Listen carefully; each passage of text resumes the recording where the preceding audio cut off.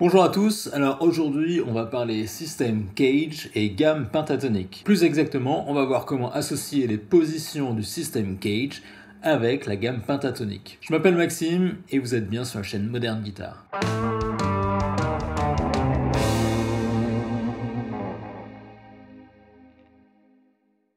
Alors d'une manière générale, j'aime bien associer une position d'accord à une gamme ou un fragment de gamme sur le manche. J'ai déjà fait des vidéos à ce sujet, donc je vous encourage à aller les regarder. Là, cette fois-ci, dans cette vidéo, comme je vous le disais en introduction, on va s'intéresser au système Cage et aux gammes pentatoniques. Alors, je vais pas refaire une explication de ce qu'est le système Cage, j'avais déjà fait une vidéo là-dessus, donc je vous encourage à aller la regarder, ou si vous ne voulez pas regarder celle-ci, il y a des tas d'autres vidéos qui vont vous expliquer en détail ce qu'est le système Cage. Mais là où ma première vidéo nous qu'aux positions d'accords du système Cage. Ici, on va plutôt s'intéresser à l'association entre les positions des accords en système Cage et l'improvisation avec les gammes pentatoniques. Et je vais vous montrer tout ça de manière très simple à l'aide du 12 Assistant. Si vous ne connaissez pas le 12 Assistant, je vous encourage vivement à cliquer sur le lien que vous pouvez trouver en description. Alors comme je l'ai dit, le principe ici est très simple. On va associer une des cinq positions du système Cage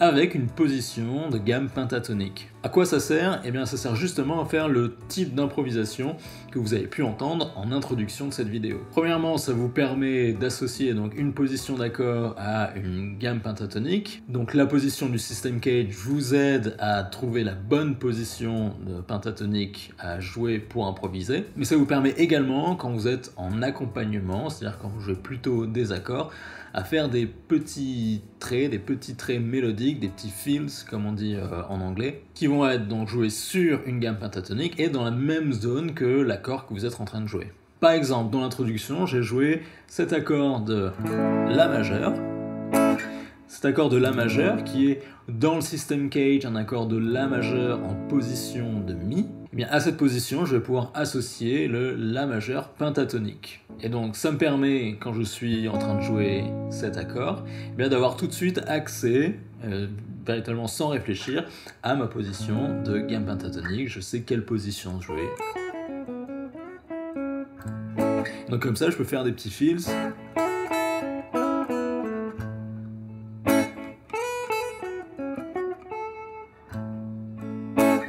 La question que vous êtes sans doute en train de vous poser, c'est eh bien, comment j'associe ces positions cage aux positions pentatoniques? Eh c'est ce qu'on va regarder tout de suite à l'aide du 12 Assistant. Nous voici maintenant dans le 12.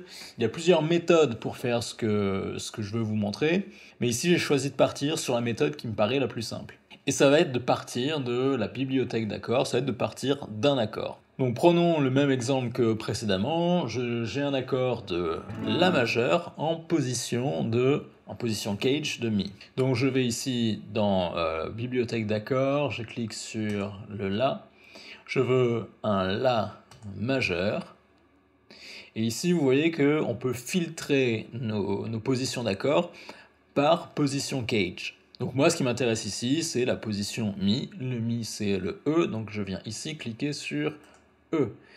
Et ça m'affiche deux accords. Euh, je vais prendre le premier qui est cet accord-là, donc l'accord barré en position de Mi. Et maintenant, comment je l'associe à ma gamme pentatonique? Eh bien, je viens cliquer sur les trois petits points et je descends tout en bas, connecté à une gamme. Et le toile me propose toute une liste où je peux retrouver cet accord de La majeur. Alors ici, évidemment, ce qui m'intéresse, c'est uniquement la gamme pentatonique, euh, gamme pentatonique majeure. Donc je descends et je viens chercher ici la gamme penta majeure. Je clique dessus et vous voyez qu'en bas, sur le diagramme, eh bien, ça m'a affiché d'une part toute la, position de la, la gamme majeure pentatonique sur tout le manche, et en plus, ça m'a affiché toujours mon accord. Et pour filtrer encore plus et mieux visualiser la position de pentatonique qui m'intéresse ici, eh bien je viens juste en dessous, voir la position cage, je clique, et voilà, il me reste uniquement la position cage associée à cet accord. Et j'ai bien ici la gamme que je vous montrais précédemment, donc la majeure pentatonique associée à cet accord en position de mi. Alors prenons un autre exemple, je veux toujours mon accord de La majeur, mais dans une autre position cage. On va dire que je veux la position qui correspond au Do. Donc pour ça, je repars de ma bibliothèque d'accords, je suis toujours sur le, La majeur, et dans le filtre de position de cage, je viens cliquer sur le C, donc qui correspond à la position de Do. J'ai donc trois choix qui s'affichent, je vais prendre le premier, donc toujours pareil, je viens sur les trois petits points, tout en bas connecté à une gamme, je descends pour trouver la gamme pentatonique majeure, voilà, penta majeur, et comme précédemment, je viens ici cliquer sur voir la position cage, et ça ne m'affiche plus que la position de ma gamme pentatonique qui est associée à cette position d'accord. Alors ça fonctionne aussi pour les accords mineurs et associer un accord mineur à une gamme pentatonique mineure. Alors cette fois-ci, on va dire que je souhaite jouer un accord de Ré mineur dans la position cage de La.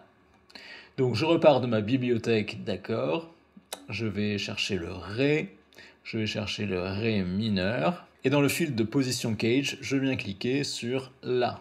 Alors je vais prendre le deuxième accord, comme toujours, les trois petits points connectés à une gamme.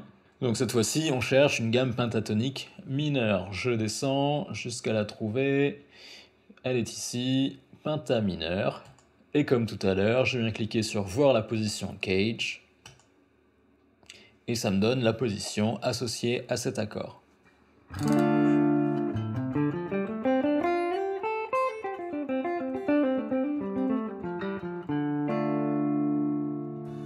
Voilà, c'est tout pour cette vidéo, j'espère que l'astuce vous plaira. Encore une fois, si vous ne connaissez pas le 12 Assistant, cliquez sur le lien en description pour en découvrir plus. Comme toujours, si vous n'êtes pas abonné à la chaîne, eh bien je vous encourage vivement à le faire. Vous pouvez me suivre également sur les réseaux sociaux, sur Facebook ou Instagram. N'hésitez pas non plus à faire un tour du côté du site internet moderneguitaronline.com. Et quant à moi, je vous dis à bientôt pour une prochaine vidéo.